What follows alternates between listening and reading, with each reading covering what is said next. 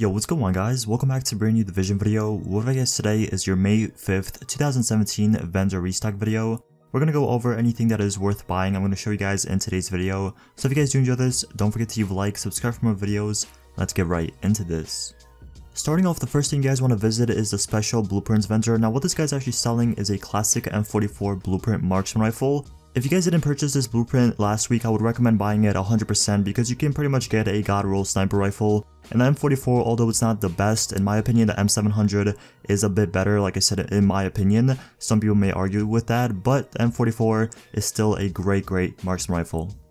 Up next, we make our way to the special equipment vendor. The first thing you guys want to check out is this Liberator. This Liberator is actually really, really good. I might have to buy this one. I already have like three or four Liberators, but I just want to buy this one uh, just to kind of have it. So what this one actually comes with is 18% enemy armor damage, which is on the low side. I wish it was a little bit higher, but you know, that is alright. If you're using it for uh, last stand, it is going to get normalized. For the damage, it comes with 20.7k, which keep in mind is going to be a bit different since my firearms uh, might be different than yours. And for the talents, it actually comes with deadly, focused, and responsive. So this is pretty much a god roll liberator in my opinion, the only thing you have to re-roll is focus. Try to get something like competent if you have enough electronics. If you don't, get something like unforgiving and this will be a god roll weapon you could use for PvP or PvE.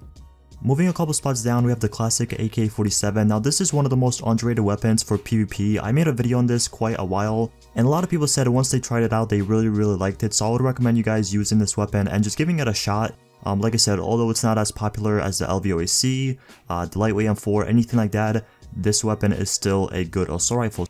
So what it actually comes with is Sustained, Deadly, and Competent. You have Competent in the free talent, so you don't have to worry about your requirements on your gear or your build.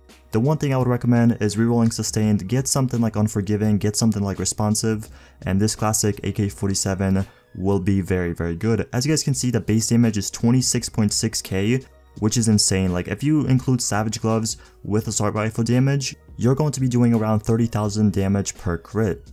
The final thing that is worth looking at in the special equipment vendor is this magazine. Although it doesn't have critical hit chance, which you normally would want critical hit chance, although some people like rate of fire, if you do, this magazine is for you. What it comes with is 110% magazine size, 4% critical hit damage, and 4.80% rate of fire. So as I said, if you are a fan of rate of fire attributes on your magazine, this purchase is for you. Up next, we make our way to the Advanced Weapon Vendor. Now what this guy's actually selling is a MP5 ST. This one is actually pretty good. What it comes with is Brutal, Commanding, and Deadly. So Brutal isn't really the best thing you want, but it's still a decent pickup if you reroll Commanding, get something like Responsive, Unforgiving, um, even get something like Competent if you have enough electronics. This weapon will be really nice. The final thing you guys want to check out in this vendor is this Omega Rifle Suppressor. Now if you guys don't have this one, it is a must buy. What it comes with is 18% headshot damage, 4% critical hit damage, and 2.50% critical hit chance. Now although you cannot put this suppressor on some machine guns like your MP5 or your MP7, it's still a really good pickup if you are looking uh, for something that does just pretty much a lot of damage, even if you're looking uh, for a marksman rifle suppressor, this is a great pickup. So like I said, if you are missing one or if you need one, it is located in advanced weapon vendor.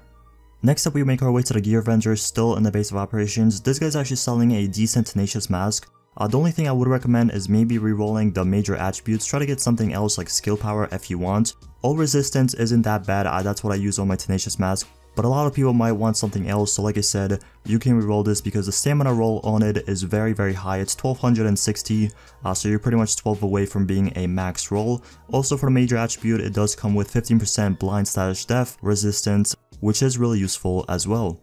This week, the only safe house that is worth looking at on this map is the South Pole safe house. What this guy is actually selling is a mod, and it's actually really decent if you are making a skill power build. It comes with 229 electronics and 3159 skill power. So if you are looking for, uh, you know, a skill power build, or if you're looking to increase your heals or your abilities, I would recommend picking this up 100%.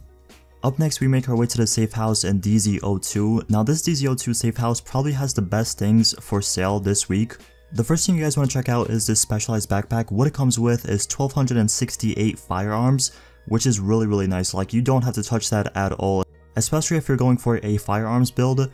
It also comes with 12,740 health, and in my opinion, if you want to reroll that, go ahead. But if you are using this for last stand or, uh, you know, PvP, you don't really have to reroll it. You could just keep it how it is. And for the major attribute, it does come with 15% disrupt resistance, which is really good as well uh, for PvP or PvE. So this is a must pick up, even if you have a decent specialized backpack. Just pick this one up if you're going for a, like I said, a firearms build or you just might need it in the future. It doesn't really hurt to buy it and keep it in your stash.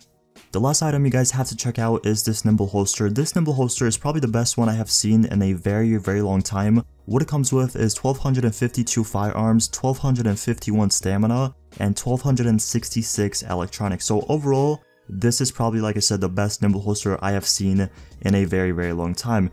For the major attribute, it does come with 3.50% critical hit chance, which I would recommend rerolling to health, and this will be a god roll nimble holster. So once again, I would really recommend buying that specialized backpack and this nimble holster. If you guys are looking for it, it is located in DZ02 safe house right here on your map. Anyways, that pretty much concludes the video. Thank you guys so much for watching. If you guys did enjoy this or found it helpful, don't forget to leave a like, subscribe for more videos, and I'll see you guys in the next one.